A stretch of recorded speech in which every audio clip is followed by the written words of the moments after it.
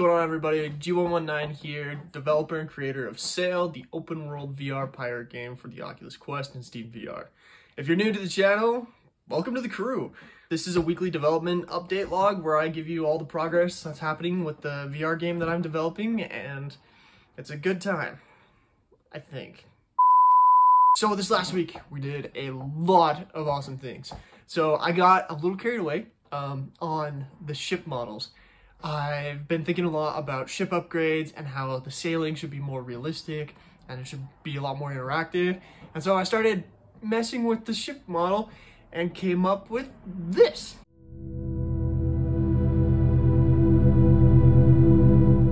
And I really, really like it.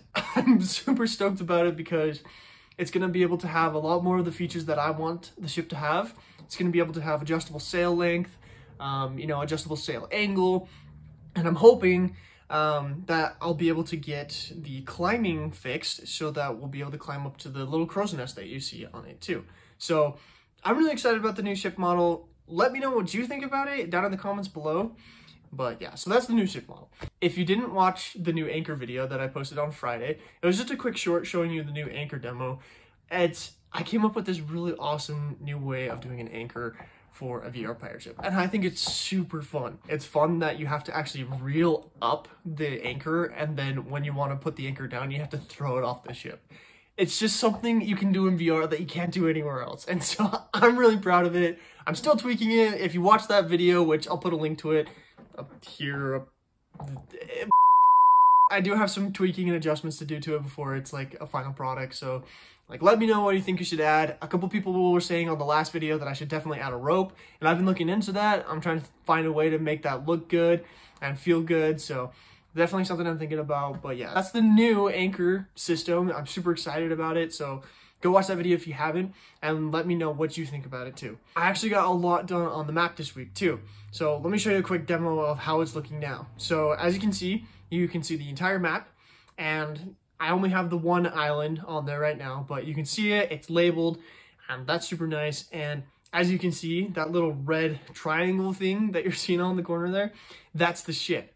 And so wherever you go on your ship, you'll be able to tell where you are and which direction you're facing. And so I think that'll help with the expanding map with the new islands and stuff that are going to be coming in future updates.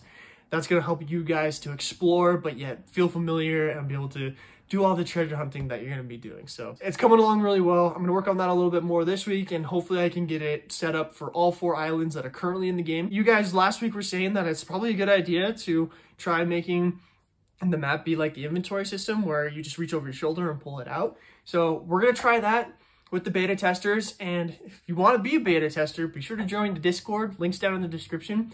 Join the Discord and get the ship tester role. And you can be a part of early access to builds and stuff before I release them and help me test the game and build it for this community. So be sure to join the Discord. Now, this is the part that I've been super excited about. So we've got ourselves an artist and he started drawing up some concept art for how he wants to make the 3D models for Sail.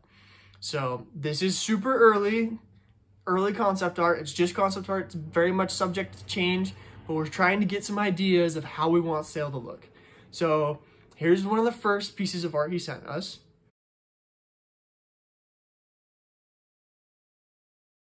And it's a skeleton, right? This is going to be one of the baddies we fight. But what do you guys think?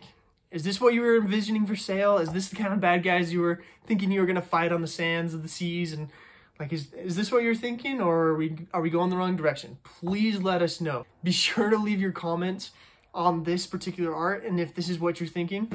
And also join the Discord if you want to be an even more active part of building this game. But yeah, that's all for me. Thanks so much for watching. If you like the video, please subscribe and like it. It really helps me out and it supports the development of this game. And join the Discord. I'd love to have you guys there and become ship testers and be a part of building this game.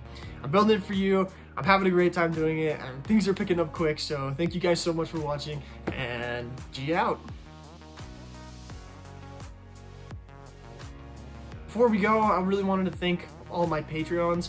I want to thank Ascend VR, Richard Lines, Dewey Burshaw, and Robert Braxton. Uh, you guys are awesome for supporting me on Patreon. I wouldn't be doing this without support like you guys, so thank you so much for being there. And if you want to join, if you want to become a patron, uh, the link's down in the description. And yeah,